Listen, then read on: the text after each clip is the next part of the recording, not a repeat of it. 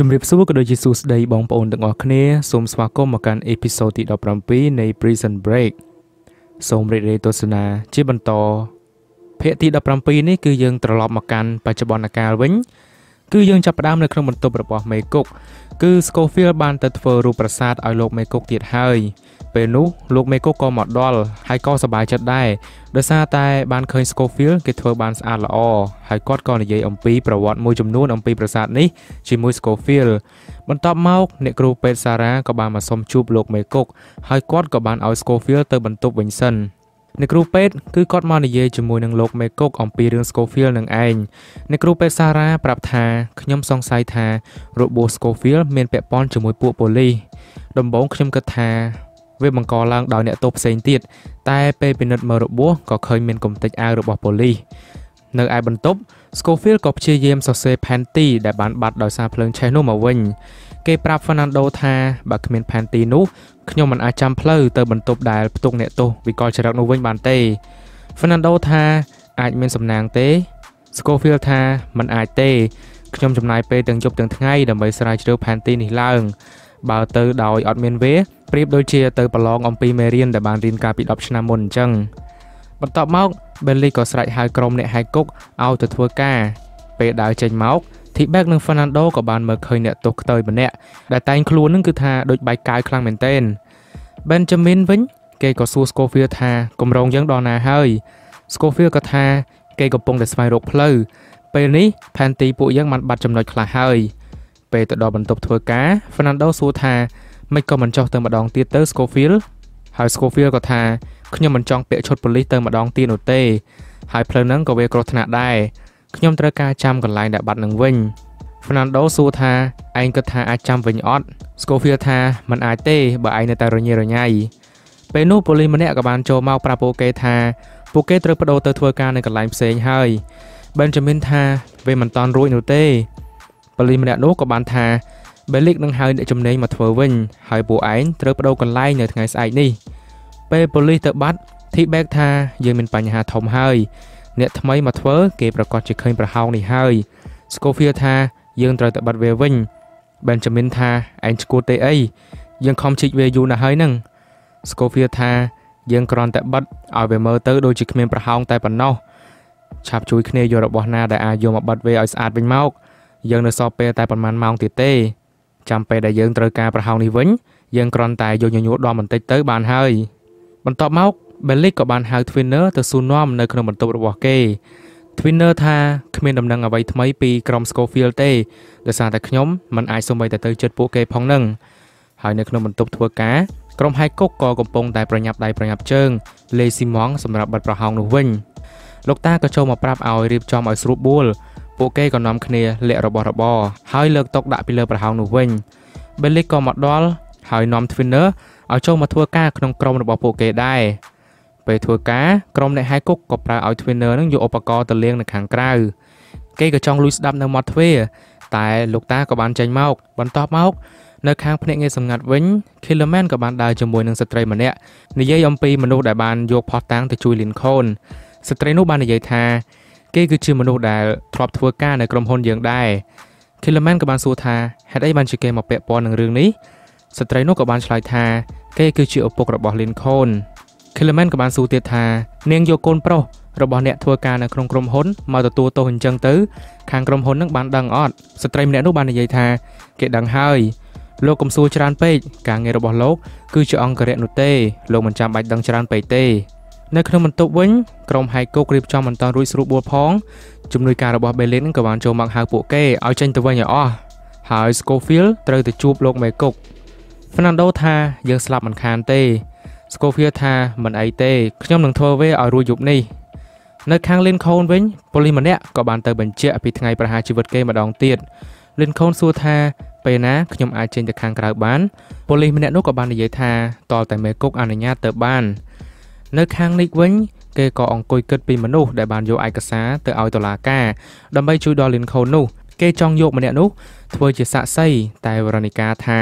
យើងមិនដឹងថាទៅរកគាត់នៅកន្លែងណានោះទេបើមិនស្គាល់ទាំងឈ្មោះផងនឹងកូនរបស់ Lincoln ថាយើងគ្មានអីតវ៉ាទៀតហើយវរនិកាថាយ៉ាងហោចណាស់ក៏យើងនៅសល់ពេលដែរកូនរបស់ Lincoln ក៏បានថាយើងមិនទៅអាចឈ្នះពួកគេ ពួកនោះមិននឹងអាចឲ្យយើងរកផុសតាំងបានងាយងាយទៅ វរនិកាក៏ថាពួកយើងនឹងព្យាយាមឲ្យអស់ពីលទ្ធភាពហើយកូនរបស់ Lincoln ក៏ថាខ្ញុំមិនជឿលើយុទ្ធធម៌ស្អីនោះទេខ្ញុំចង់រកពួកគេហើយសម្រាប់ពួកគេដោយដែលគេនឹងសម្រាប់ម្ដាយរបស់ខ្ញុំវិញវរនិកាក៏បានថាធ្វើចិត្តឲ្យត្រជាក់សិនទៅពួកយើងប្រកាសជាអាចរកផុសតាំងណាមួយបាន Nick ក៏នឹកឃើញដល់ Quen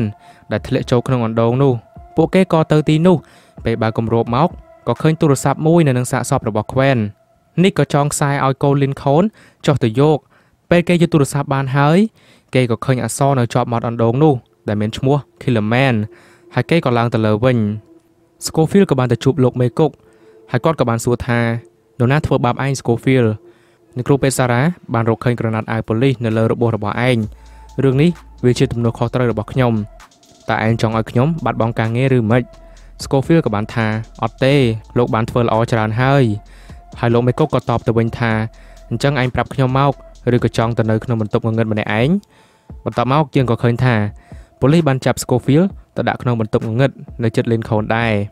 ពួកគេក៏និយាយឆ្លើយឆ្លងគ្នាតាមបំពង់ទយោ Lincoln សួរថាមិនបានឯងត្រូវមកនៅទីនេះដែរ Scofield ក៏ថាដោយសារតែមេគុកសួររឿងដែលខ្ញុំមិនអាចឆ្លើយបានមិនយូរទេគាត់នឹងដឹងរឿងយើងហើយ Lincoln ថាកុំអស់សង្ឃឹមអី ពួកគេយកឯងមកដាក់កន្លែងនេះដើម្បីធ្វើឲ្យឯងនឹង stress តែប៉ុណ្ណោះឯងត្រូវតែរឹងមាំកុំធ្វើឲ្យពួកគេបំបាក់ឯងបានបន្ទាប់មក Benjamin ក៏បានខលទៅប្រពន្ធរបស់គេហើយប្រាប់ថាគេត្រូវពញាពេលទៅប្រហែលថ្ងៃកុំឲ្យបារម្ភអី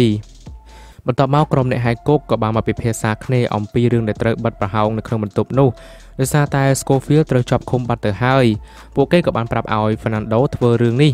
តែគេមិនហ៊ាននោះទេព្រោះ បើសិនជាគេអាចចូលទៅក្នុងបន្ទប់នោះបានក៏ដោយនៅពេលដែលគេបិទប្រហោងនោះហើយគេអាចចេញវិញតាមណាបានពួកគេក៏ថា Scofield ប្រកាសជាមានផ្លូវសម្រាប់កិច្ចខ្លួនលោកតាថាមានតែផ្លូវនោះគឺត្រូវចេញទៅកណ្ដាលបរិវេណគុក Fernando ថាបើសិនជាគេចាប់បានខ្ញុំនឹងត្រូវបន្ថែមទោស10ឆ្នាំទៀត T-Bag ថាឯងត្រូវទៅរកវិធីកុំឲ្យគេចាប់បាន នៅក្នុងបន្ទប់ងងឹត Lincoln ក៏បានសួរ Scofield ថាកំពុងគិតអីហើយ Scofield ក៏បានថា កំពុងគិតអំពីផែនទីដែលបានបាត់ Lincoln ក៏ថាកុំតន់ខ្វល់រឿងនឹងអីគិតពីវិធីដែលអាចចេញពីបន្ទប់នេះសិនទៅ Scofield ក៏បានដោះអាវរបស់គេមួយជាន់នឹងយកមកហែក Fernando វិញគេកំពុងតែភ័យពីរឿងយប់នឹងគេដើរមកមាត់ទ្វារហើយក៏ឃើញម្នាក់ដែលខ្ទើយបៃស្លុយនោះហើយគេក៏បានទៅជួប T-Bag ឲ្យ T-Bag នឹងទៅតាក់ទងជាមួយនឹងម្នាក់ដែលខ្ទើយនោះហើយ T-Bag អត់ព្រមនោះទេតែ Fernando ថាឯងត្រូវតែធ្វើវាដើម្បីការងារក្រុមរបស់យើង ហើយ T-Bag ក៏បានទៅញ៉ែខ្ទើយនោះពេលហ្នឹងយើងមិនដឹងថាទៅញ៉ែខ្ទើយនឹងដើម្បីអ្វីនៅឡើយទេបន្ទាប់មកនៅខាងវរនិកាវិញនេះក៏បានយកទូរស័ព្ទ Quen ទៅសាកគេថាវាអាចជាកំណត់ផុសតាំងរបស់យើងហើយ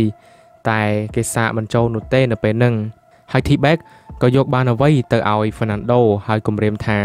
កុំនិយាយរឿងនេះប្រាប់អ្នកណាឲ្យសោះនៅកន្លែងនៃគ្រូពេទ្យសារ៉ាវិញអ្នកគ្រូពេទ្យម្នាក់ទៀតបានប្រាប់ថា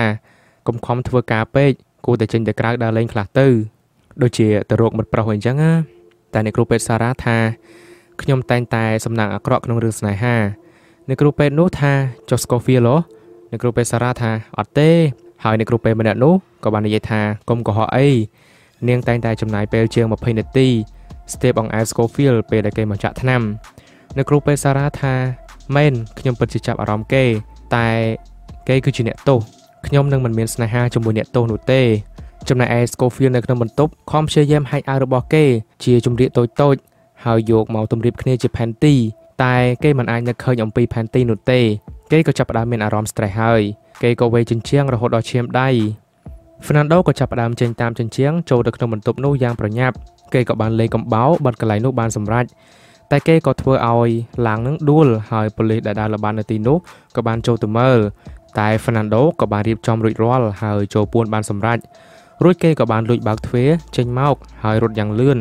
តែប៉ូលីសក៏ចាប់គេបានបែលីក៏យកគេទៅសួរចម្លើយថាឯងចង់លួចរត់អីឯងនៅតែប៉ុន្មានខែទៀតប៉ុណ្ណោះហេតុអីត្រូវបន្ថយបន្ថែមទោស10ឆ្នាំ Fernando ថាខ្ញុំមិនបានចង់រត់ទេខ្ញុំពូននៅខាងក្រៅតាំងពីថ្ងៃមកបែលីកថាគ្រឿងញៀនក៏មិនល្អជាងលួចរត់ប៉ុន្មានដែរ Fernando ថាមិនមែនគ្រឿងញៀនទេ បែលីកក៏បានខឹងយ៉ាងខ្លាំងហើយក៏សួរថាអញ្ចឹងឯងធ្វើវាដើម្បីអ្វីពេលនោះគេក៏ឆែកឃើញកសែមួយ Fernando ថាគេព្យាយាមចាំជួបសង្សាររបស់គេ គេបារម្ភខ្លាចបាត់បង់សង្សាររបស់គេ Bellic ក៏ថាឯងសុកចិត្តផ្សងគ្រោះថ្នាក់ធំយ៉ាងនេះគឺដើម្បីតែរឿងប៉ុណ្ណឹងទេអីឯងធ្វើដើម្បីស្នេហាអីហើយគេក៏បានយក Fernando នឹងទៅដាក់នៅក្នុងគុកងងឹតដែរពេលនោះ Lincoln ក៏បានហៅ Fernando ឲ្យទៅមើល Scofield គេហៅហើយក៏មិនលឺ Scofield ឆ្លើយ Lincoln ក៏បានហៅប៉ូលីសម្នាក់ឲ្យមកមើលប៉ូលីសនោះក៏បានហៅគ្នាមកឲ្យមើលកន្លែងហ្នឹងឲ្យលឿនបន្ទាប់មក Nick និង Veronica ក៏ត្រូវទៅក្រៅមួយផ្លេតកូនរបស់ Lincoln ក៏ទៅឆាយកុំព្យូទ័ររកលេខរបស់ Killerman ពេលគេទេទៅ Killerman ក៏បានទុកសារជាសម្លេងថាគេរវល់គេនឹង call ទៅវិញពេលក្រោយបន្ទាប់មកអ្នកគ្រូពេទ្យសារ៉ាក៏បានចូលទៅមើល Scofield នៅក្នុងបន្ទប់នោះហើយក៏ឃើញថា Scofield ដូចជាមានបញ្ហា stress ខ្លាំងមែនទែន គេមើលទៅដូចជាគ្មានអារម្មណ៍ក្នុងខ្លួននោះទេហើយគាត់មើលទៅលើជញ្ជាំងក៏ឃើញស្នាមឈាម ដែលដូចជាផ្លូវអ្វីមួយហើយអ្នកគ្រូពេទ្យក៏បានលួងលោមហើយនឹងមើលថែរបួសគេ នៅខាងក្រៅក្រុមអ្នកហែកគុកក៏បានចូលមើលក្រុមដែលប៉ូលីសជួលឲ្យមកធ្វើការបន្ទាប់មក Killerman ក៏បានខលប្រាប់អ្នកស្រីអនុប្រធាននាយកបដីថាគេបានស្រាវជ្រាវដឹងអំពីឪពុករបស់ Lincoln រួចអស់ហើយហើយអ្នកស្រីនោះក៏បាននិយាយថាល្អណាស់គម្រោងរបស់យើង ក៏ដូចនឹងគម្រោងរបស់ក្រុមហ៊ុនដែរ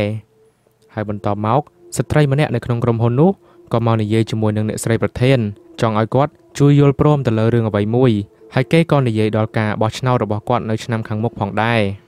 នៅត្រង់ចំណុចនេះយើងក៏ដឹងថាក្រុមហ៊ុនមួយនោះគឺមានអំណាចធំធេងខ្លាំងណាស់នៅក្នុងគុក Bellic ក៏បានមកសួរ Twinner ទៀតហើយគេនិយាយលេងថាឯងចង់បានបរិះមេធំនោះនៅក្នុងបន្ទប់ឯងទេ Twinner ថាឥឡូវនេះខ្ញុំមានរឿងប្រាប់ Scofield និងគ្នាគ្នារបស់គេគឺមានរឿងអាត់កំបាំងនៅក្នុងបន្ទប់ជួសជុលនោះត្រង់កំរាលព្រំហើយ Bellic ក៏បានទៅរើកំរាលព្រំនៅក្នុងបន្ទប់នោះតែมันបានឃើញអ្វីនោះទេបន្ទាប់មកលោក Meko ក៏បានចូលមកមើល Scofield ហើយក៏ឃើញថាគេប្រៀបដូចជាមនុស្សរុក្ខជាតិអញ្ចឹង Lincoln ក៏បានស្រែកហៅ Scofield យ៉ាងខ្លាំងហើយប៉ូលីសក៏បានបិទពង្អួយរបស់គេឈុតបន្ទាប់យើងក៏បានឃើញថាកូនប្រុសរបស់ Lincoln បានទៅផ្ទះរបស់ Killerman តាមអាសយដ្ឋានដែលគេបានរកឃើញពីអ៊ីនធឺណិត គេបើកទ្វារខាងមុខក៏ឃើញថាជាប់សោ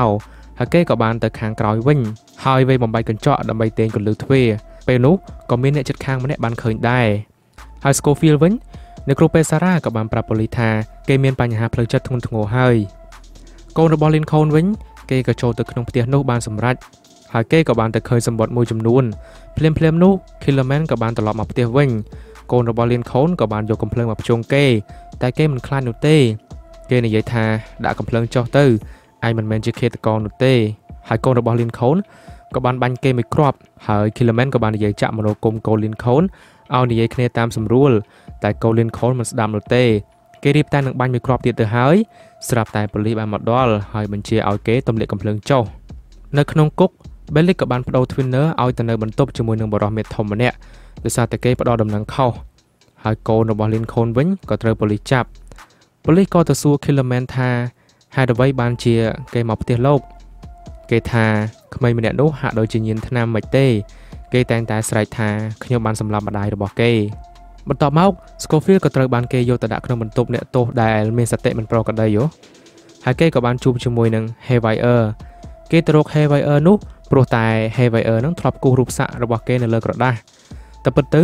Scofield គឺធ្វើពុតជាឈួតទេគោលបំណងរបស់គេនឹង គឺចង់មកកន្លែងរបស់ Haywire នឹងឯងគេក៏ទៅសួរ Haywire នឹងអំពីរឿងរូបសាក់នោះថា Haywire នឹងបាននៅចាំរូបសាក់របស់គេអត់តែពេលហ្នឹង Haywire ក៏បានសួរទៅកាន់ Scofield វិញថាឯងជានរណាបាទសូមអរគុណអ្នកទាំងអស់គ្នាចំពោះការតាមដានទស្សនាវីដេអូមួយនេះរហូតដល់ទីបញ្ចប់យើងនឹងជួបគ្នានៅអេពីសូតទី18បន្តទៀតបាយបាយ